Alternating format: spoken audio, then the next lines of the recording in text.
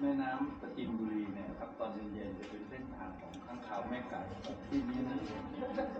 พอเราเราเราไปเห็นราชบุรีมันจะโอ้โหอะไรไอ้นี่มันมาทำกันเลยเนี่ยนะครับแต่ประจินเนี่ยมันเอาแบบอันนี้ได้ตัวใหญ่วันนี้นะกินทุกวันด้วยกินทุกวันด้วยของน้องเหมือนกันเลยของน้องต้องเที่ยวด้วยต้องเที่ยววันนี้จะสมัยใกล้ๆเด็กเหลือแค่นี้วัดเป็นในตัวเทศบาลมีวัดประจำปีติดเนื้อที่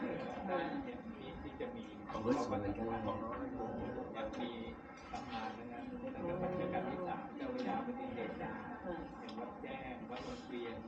วัดโพวัดแก้ววิจิตรอย่างเงี้ยตอนนี้จะมีพระเครื่องดังพระเครื่องดังเครื่องดังมีอาจารย์เยอะ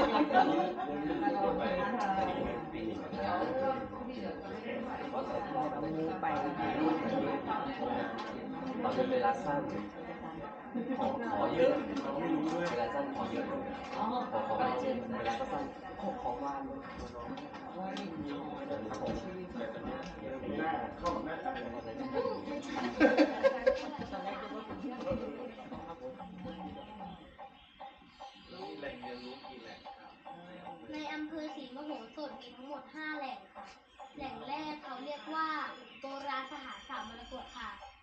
สถานที่ที่สองเขาเรียกว่าต้นพระศรีมหาโพธิ์สถานที่ที่สามโบราณสถานสระแก้ว สถานที่ที่สี่สถานที่ที่สี่วิหารหลวงพ่อทวังสถานที่ที่ห้าอาคารนิทรรศการค่ะครั้งนี้เทศกาลที่ไหนคะอยู่อยู่ตรงวัดสามมรกต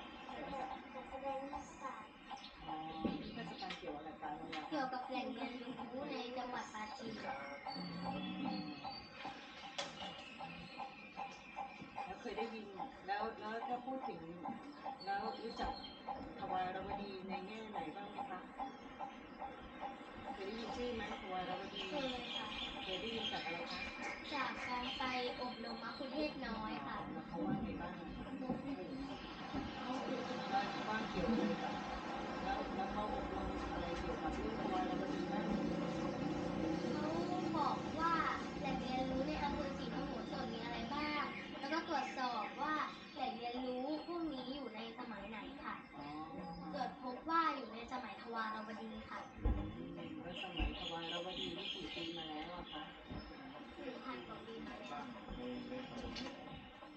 มะคุเทศน้อยประจำอยู่สถานที่โบราณสถานสามมรกตค่ะ อ๋อนะคะทั้งคู่เลยหรือเปล่าครับหรือว่าอีกคนอยู่ที่ไหนประทั้งจำคู่ค่ะทั้งคู่เลยนะ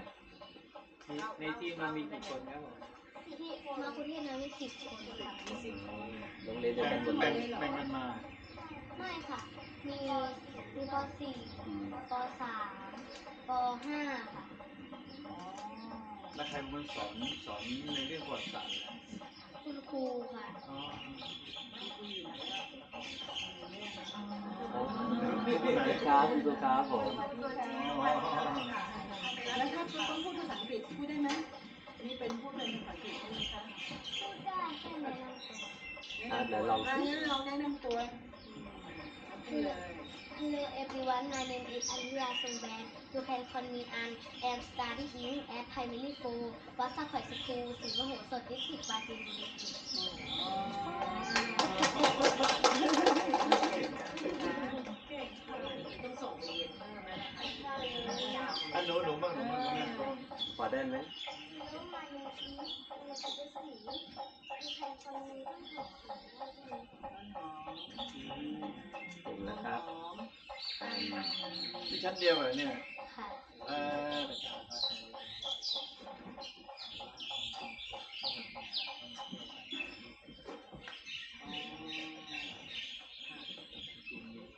วันนี้ไม่ได้ไม่ค่อยได้ทานใช่ไหมทานเยอะกว่านะเราขึ้นอย่างเป็นอะไร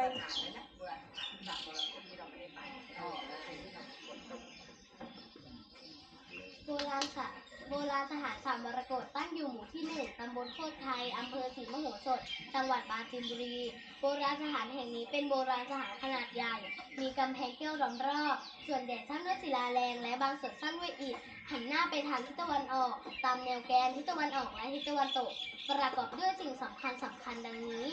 1. รอยพระพุทธบาทคู่ 2. โคบุระหรือซุ้มประตูหน้า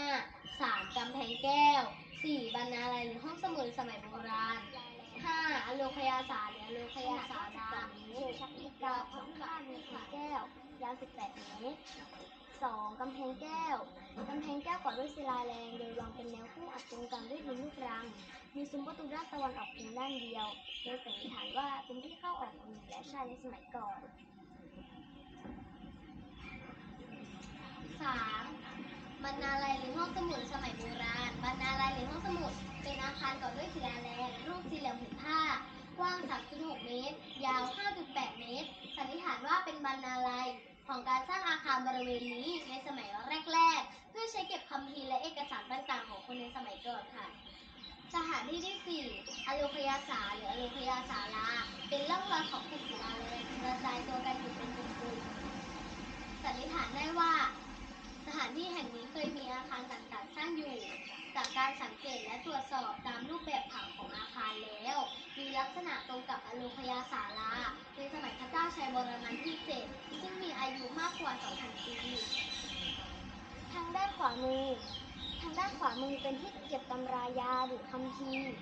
ส่วนกลางเป็นปางประธานหรือที่ปฏิสถานภูมิสัตว์ไทยสัตว์ภูมิไวยเดียยประภาผู้รักษาโลกค่ะ สถานที่ที่ 5 บ่อน้ำศักดิ์สิทธิ์บ่อน้ำศักดิ์สิทธิ์เป็นแหล่งน้ำศักดิ์สิทธิ์ที่นำไปใช้ในพิธีพระบรมราชาภิเศษแหล่งที่ 1 มีลักษณะเป็นบ่อกลมขนาดเส้นผ่าศูนย์กลาง 1.2 เมตร ลึกประมาณ 10 เมตร ขุดลึกลงในศิลาแรงมีน้ำสีเขียวใสสะอาดตลอดทั้งปีและไม่แห้ง ในบ่อพบพระพุทธรูปสมัยทวารวดี และโบราณวัตถุอายุมากกว่า 1,560 ปี เป็นจำนวนมาก โดยบ่อน้ำศักดิ์สิทธิ์นี้ยังถูกนำน้ำไปใช้ประกอบพิธีพระราชพิธีต่างๆมาโดยตลอด และชาวบ้านได้นำมาชนะมาตักน้ำ จากบ่อน้ำศักดิ์สิทธิ์ไปเป็นน้ำมุทมน์ในเทศกาลสงกรานต์และคนสมัยก่อนเชื่อว่า น้ำจากบ่อน้ำศักดิ์สิทธิ์นี้ใช้ดื่มกินเพื่อรักษาโรคอาการเจ็บป่วยได้ค่ะมาที่สระมรกตของโครงการวิจัยครับทำวิจัยโดยเอ่อมทรธัญวิทยอั นี้เป็นหนึ่งในเรื่องราวของทวารวดีครับซึ่งเป็นอาณาจักรที่กว้างขวางมาก นครปฐมแล้วก็ลงไปทางใต้นะครับ แล้วก็มาที่ทางตะวันออกเกือบสุดของประเทศไทยก็ยังคงมีหลักฐานทางประวัติศาสตร์ของยุคสมัยพระวารวดีอยู่นะ อันนี้เป็นหนึ่งในนั้นครับ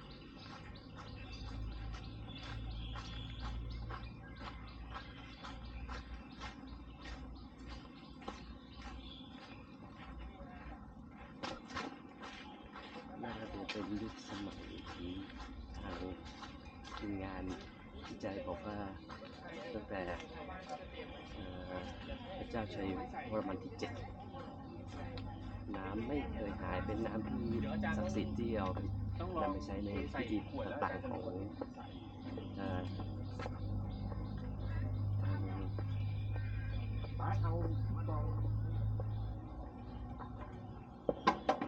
อันนี้ แล้วก็มีที่ที่เดียวในโลกก็คือของเรามีมีสัญลักษณ์สวัสดิการเดี๋ยวเดี๋ยวอาจารย์เข้าไปดูฮะ เสียดายผมไม่ได้ปราดเขาไม่ว่างนะไม่งั้นเดี๋ยวผม เดี๋ยวอาจารย์ลองดูน้ำดูครับเดี๋ยวให้อาจารย์ดูน้ำเห็นไหมฮะเขาเป็นความเชื่อของของคนที่นี่ว่าน้ำที่เนี่ยน้ำผุด ใช่มาจากที่อ่าทางขอบฮะ อันนี้แบบที่ไปใช้ในพิธีใช่ฮะของราชาพิเศษฮะ ของคือที่พักสัตยาบันใช่ฮะ ที่รวบรวมใน ทั่วประเทศใช่ น้ำศักดิ์สิทธิ์ใช่นี่คือที่นี่ ใช่ฮะน้ำสะอาดครับอาจารย์ร้านไม่เอาที่ตักให้อาจารย์เขาว่า ไม่รู้เอาไปทำอะไรเอาไปกินนี่นะผมผมเอาไปให้เอาไปเป็นน้ำมนพ่อต์ผมพ่อคิดนะส่วนอันนี้เป็นเป็นพระพุทธบาทเป็นรอยพระพุทธบาท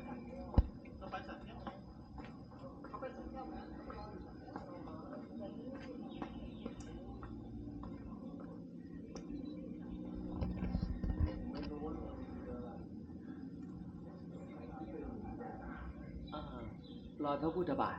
ไม่อันนี้ใช่อันนี้หรออ๋อไม่ใช่เหรอเข้าใจผิดเนี่ยไม่แน่ใจเหมือนกันแต่ก็ดูเหมือน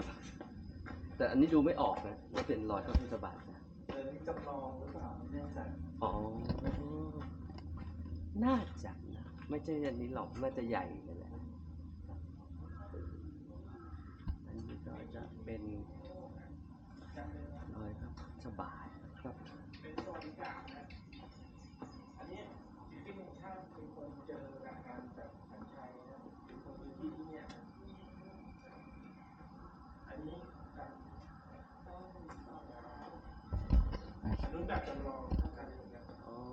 แต่เดิมเรามีนักนักป่านะนักป่าชาวบ้านอันนี้ อันนี้เป็นสวัสดิการเป็นเป็นรุ่นแรกนะนี่สมัยธรวดีคืออะไรสวัสดิการสวัสดิการอาจารย์เคยนึกถึงเยอรมันที่นาซีเหรอครับว่าอันนี้มีเออใช่ว่านะแต่ว่าอันนี้เหรอพระพุทธบาทใช่ฮะถ้าอาจารย์ดูจากตรงของจำลองจะชัดนะอันนี้คือจะเป็นลักษณะแบบนี้จะเป็น จะเหมือนกับของศรีลังกาฮะของทางอินเดีย อันนี้อาจารย์สุจิตเขาเขาสันนิษฐานว่าน่าจะเป็นจุดที่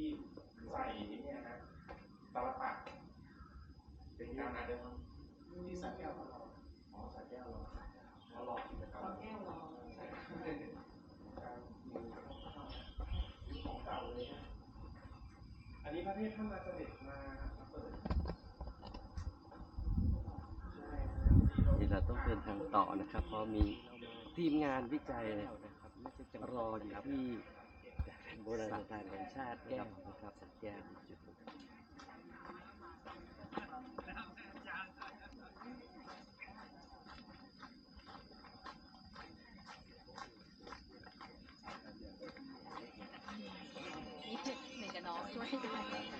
ได้รับก่อนอันนี้คือหัวหน้าสภาดีครับจากหัวหน้ากลุ่มรายชื่อนะครับประกอบที่ห้ามาถึงแล้วก็ผมได้พัน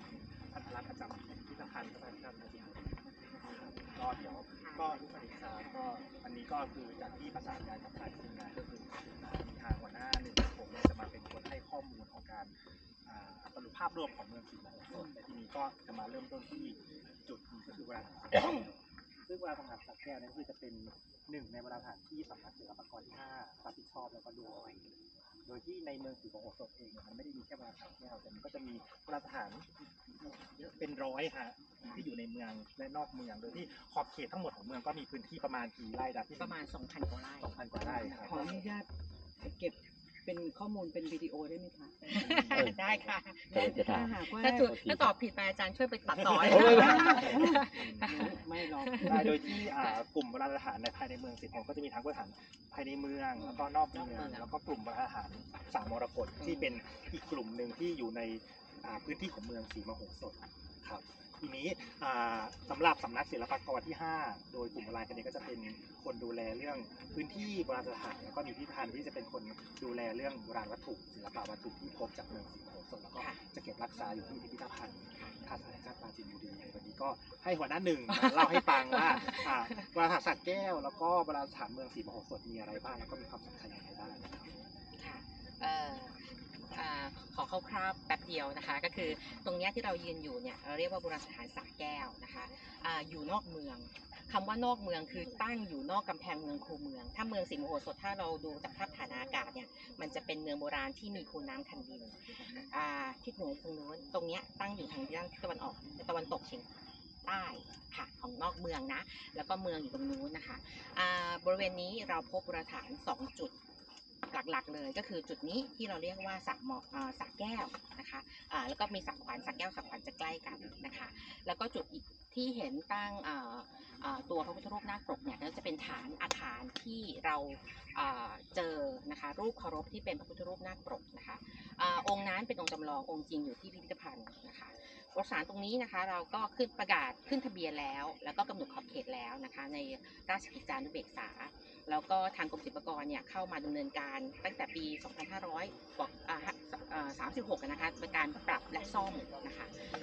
ความสำคัญที่นี่ก็คือเป็นบ่อน้ำอ่าตีมเงาเขาคือเป็นบ่อที่เก็บกักน้ำน้ำเอาไปไหนน้ำก็น่าจะเอาไปประกอบพิธีกรรม เพราะว่าขอบบ่อเนี่ยเราเจอ ภาพสัญลักษณ์ที่เกี่ยวข้องกับเอ่อเอ่ออ่าสัญลักษณ์ที่เป็นความอุดมสมบูรณ์ทั้งเกือบทั้งหมดนะคะ ไม่ว่าจะเป็นนะคะตรงด้านหน้าเรานะคะ เป็นช้างสองตัวเขาหากันนะคะ อันนั้นคือภาพที่เป็นสัญลักษณ์ของโคชลักษมีนะคะข้างข้างข้างตรงกลางตรงกลางตรงแค่กที่ลางออกมาใช่ค่ะอ่า ทางซ้ายทางขวาเราจะพบตัวมะกรเจอมะกรก็คือสัตว์ผสมปลาเจอในเมืองเลยสำคัญขนาดไหนคือเจอในเมืองช้างนะคะแต่ทางที่นี่คืออยู่นอกเมืองอาถามว่ามันมันคือในความสำคัญในแต่ละช่วงอ่าถ้าอ่าถ้าตำแหน่งถ้าพิจารณาจากสภาพภูมิประเทศหลักฐานภูมิศาสตร์ตรงนี้คือใต้ นอกเมืองทางด้านทิศใต้ เมืองที่นี่จะสับแปลกอย่างหนึ่งคือว่าทางด้านทิศเหนือเนี่ยมันจะสูงกว่าข้างใต้ค่ะ เพราะฉะนั้นเวลาน้ำไหลหนักน้ำมันจะกลับนี้ ถ้าเราสร้างบ่อนะอะอีฟอัพว่าถ้าเราสร้างบ่อที่ทางทิศเหนือเนี่ยน้ำก็คงจะไม่เก็บกักแน่นอนออาจจะเป็นส่วนหนึ่งในสภาพภูมิศาสตร์ที่เขาเลือกแล้วนะคะประมาณนี้แล้วพวกศิวลึงอะคะเคยอ่านมาว่าศิวลึงมีอะไรเนี่ย ศิวลึงที่นี่ก็มีอยู่ที่นี่ ก็สำหรับศิวลึงที่เมืองศรีมโหสถนะครับที่เราเจอที่สำคัญสำคัญก็จะมีศิวลึงอยู่สองลำอืมที่เป็นศิวลึงที่มีขนาดสูงอืม ที่สุดที่พบในประเทศไทยเลยเป็นศิวลึงที่มีสองชิ้นชิ้นหนึ่งเก็บอยู่ที่วัดต้นโพอืมอีกชิ้นหนึ่งเก็บอยู่ที่พิพิธภัณฑ์พระราชนคร อืมก็คือศิวลึงก็จะเป็นสัญลักษณ์ของศาสนาของศาสนาพราหมณ์ฮินดูที่นับถือพระศิวะเป็นเทพสูงสุด มาก่อนศาสนาพุทธ ก็คือมาพร้อมๆกันเลยครับแยมาในช่วงเวลาเดียวกันใช่ก็คือค่ะอ่าต้องตั้งความหมายก็คือเมืองศรีมโหสถเป็นเมืองที่อยู่ในเส้นทางการค้าอืมทางทะเลในช่วงเวลานั้นอยู่แล้ว ดังนั้นจุดเมืองศรีมโหสถก็เป็นจุดเริ่มต้นของการรับวัฒนธรรมที่มาจากภายนอกก็คือวัฒนธรรมอินเดียอืมอันนี้อยู่ในเส้นเส้นทางราชมังคลาด้วยหไม่ไม่ค่ะไม่ไม่ครับใช่สำหรับเส้นทางราชมังคลามันจะเป็นช่วงภาคที่สามสมัยพระเจ้าชนที่เจ็ดใช่ค่ะ อ่าขออนุญาตเมื่อกี้นึกขึ้นได้เมื่อกี้พูดถึงอ่าศิวลึงเนาะอ่าที่อ่าโบราณวัตถุที่เจอที่สำคัญอีกอันหนึ่งนะคะ นอกจากที่จะเป็นไฮไลท์ว่าเป็นพระพุทธรูปนาคปกพระพิฆเนศพระวิษณุที่อยู่ที่อ่าพิพิธภัณฑ์นะคะ อีกองค์หนึ่งก็คือที่เจอเลยก็คือพระพุทธรูปแบบทวารวดีถ้าไปที่คีดูเป็นแบบนี้ปางโอเคค่ะตอนเนี้ยก็โอเคสองปางข้างโอเคสองข้างตั้งเองเราเรียกว่าอ่าวิตรกะวิตรกะโอเควิตรกะวิตรกะ วิตรกะมุตราค่ะหรือพระพุทธรูปการแสดงธรรมสองพระหัตถ์อาจารย์ตัดก็ได้นะคะฟังโอเคแล้วนะอันนี้คือพูดง่ายๆ เข้าใจง่ายดีครับ เพราะว่าอ่าพระเนี่ยมันจะเป็นกิมมิคของทวารธรรมะนะคะอ่าแล้วก็หัวใช้เป็นตัวในขันมาเป็น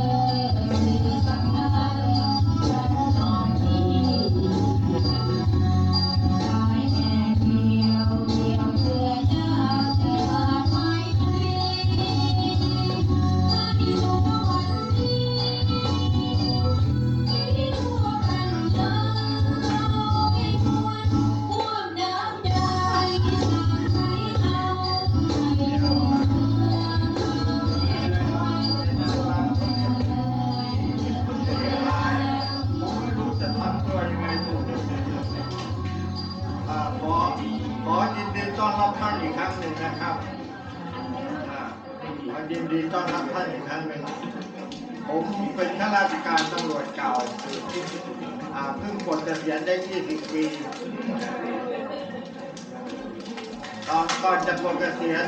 มีความคิดว่าจะสร้างหอศิลป์กลางหมู่บ้านคือเป็นผู้น้อยอยู่กับคุณยายคุณยายนี่เขาเรียกแม่คุณคนควรอยู่คุณยายมาก่อน รู้จักรู้ประเพณีรู้สิ่งของเครื่องใช้ แล้วก็ปี08ผมมาบวชที่นี่ ข้าวของเครื่องใช้เก่าๆแก่มีเยอะ พอจะเกษียณเนี่ยจะคิดสร้างหอศิลป์กลางหมู่บ้าน หรือวิมานไทยควรขึ้นมา เห็นข้าวของเครื่องใช้ที่มันมีอยู่มันจะสูญหายไปนะครับ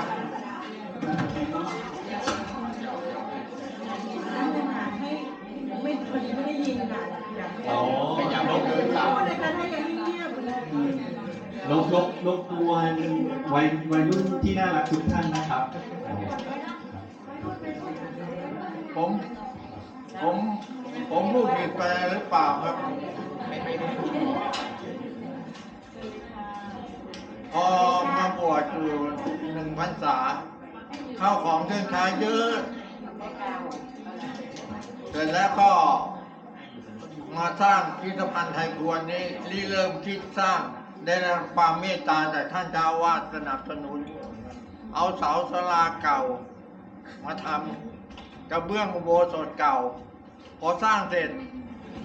ปีห้าสี่น้ำท่วมฝนรั่วกระเบื้องมันใช้ไม่ได้ กระเบื้องอุโบสถเก่า น้ำตาตกเลยครับ ข้าวของเสียหายหมด ทางวัดก็ไม่มีเงิน สนับสนุนเดชบุญนะครับ สมรองสมุหะราชวงศ์รักของสมเด็จพระนิธิฐาธิราชเจ้า ลุยน้ำมาเยี่ยมนาเดียน ผมได้กราบเรียนให้ท่านทราบว่าฝนมันรั่วท่านกลับไปในวังท่านกลับไปในวังก็ท่านรองราชเลขาก็มาอยู่และผู้เชี่ยวชาญก็มาดูในที่สุด สมเด็จพระนิธิฐาธิราชเจ้า ทรงพระกรุณาพระราชทานทุนทุนทรัพย์ส่วนพระองค์ให้ห้าแสนบาท มามูลนาซ่อมแซมโดยที่ทางเราไม่ได้จับเงินนะครับกองพันทหารชาติที่สองรักษาพันค่ายสี่สามร้อยเจ็ดสิบเอ็ดมาบูรณะซ่อมแซมให้สมัยรัชกาลที่ห้าสองครั้ง ปีสองสี่หนึ่งแปดกับสองสี่สองหก การอพยพมามีสองกรณีครับ กรณีถูกกวาดต้อนมา แต่ไทยพวนที่มาอยู่บ้านดงทงยามมาหาแหล่งถิ่นฐานที่ทำมากินใหม่ อพยพมาจากเวียงจันทร์ครับ การอพยพมานี่หมายถึงบ้านดงกระทงยามนี่คือมาจากเวียงจันทร์มาเวียงจันทร์ครับ คือก่อนที่จะมาอยู่เวียงจันทร์น่ะกษัตริย์เวียงจันทร์ ไปขอพระราชธิดาไทยควรเมืองควรแต่เมืองควรไม่ให้ไม่ยกให้ก็เลย ยกทัพไปตีตีเมืองอ่าแล้วกวาดต้อนคนคนส่วนไปอคยู่นเวียงส่วนจันหทนึ่งร์มาอยู่นอกบริเวณเวียงจันทร์อ่าอย่างนี้ไทยพวนที่บ้านดงกระทงยามนี่ก็เป็นกลุ่มครอบครัวราชสำนักเหรอคะ ครับครับผม ครอบครัวราชสำนัก คือ คือประวัติจากผมเป็นเด็กอยู่ลูกถ่ายของหลวงแม่เจ้าคำดีเนี่ยอยู่บ้านคุณยาย ภาพบนภาพบนสุดใช่ไหมข้างคะบนสุดพอพอจะสร้างสำสร้างพิพิธภัณฑ์ไทยควร ขอน้าชายว่าลูกถ่ายอยู่ไหน เขาบอกไม่มีไม่ให้ ปฏิเสธลูกเดียวว่าไม่มี อืมทั้งทั้งๆที่ผมเห็นอยู่ แต่ผมก็ไม่ว่าอะไร ผมไปที่วัดนาเหล่าน้ำอำเภอพนมสารคามไปเจอลูกครึ่งท่อนไปเจอลูกครึ่งท่อนอืมเรามาถูกทางแล้ว หลวงแม่ หลวงแม่เจ้าคำดี เกิดในสมัยรัชกาลที่สามพอไปอีกครั้งหนึ่งครั้งสี่วันไปอีกครั้งหนึ่งไปเจอลูกถ่ายที่ติดตามหาผลลูกนะครับเจอลูกถ่ายที่เด็ด ทีนี้ว่ามาเจอลูกถ่ายที่ติดตามหาเขาจะดีดอุโบสถให้สูงเพราะอุโบสถมันต่ำก็ไปดีดไปเจออัฐิคุณยายบุพันธ์ใช้แฉลงงัดไปเจออัฐิใส่หายลูกนี้โอ้เอ่อมีพระพุทธรูปหนึ่งองค์ลูกหลานเหลนจนระดับที่ห้าที่หกก็เอามามอบให้พิธวันไทยพวนอืม พร้อมพระพุทธรูปที่อยู่ในหายหนึ่งองค์ แต่กระดูกเข้าไว้ที่บ้านวัดกุตะเคียน ซึ่งวัดกุตะเคียนก็อยากได้สิ่งของแต่ลูกหลานชั้นลำดับที่ห้าที่หกเขาไม่ไม่ให้อืมเรายังผูกพันกันอยู่ ปัจจุบันนี้น้องคนนี้เมื่อตตายไปเมื่อสองปีที่สองปีที่แล้วอายุเก้าสิบห้าเก้าสิบหกปีอ๋อแล้วคุณลุงอยู่ในรูปนี้ไม่ใช่ไม่ลุงใช่ยังไม่เกิดอ๋อ คุณตาคุณตาขยับก็ได้ครับคุณพี่ คุณพี่คุณพี่จำลองแบบการอยู่ไฟของเธอควรหลังจากคลอดลูกเรื่องกรรมลูกแล้วจะอยู่ไฟนอนอยู่ไฟประมาณยี่สิบวัน ไม่ครับไม่ไม่หรอกครับ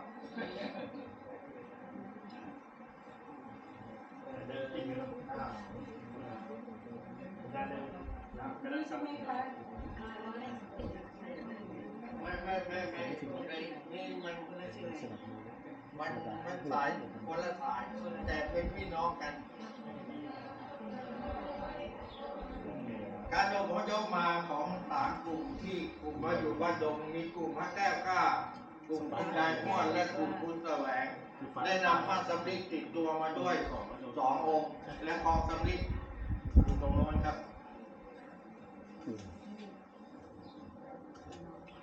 ซึ่งโอ้ผ้าสำลีสององค์นี้และผ้าไม้นี่ไม้มงคลปางเปิดโลก พระไม้ผ้าสำลีนี้กรมศิลป์เข้ามาดูเรียบร้อยแล้วอื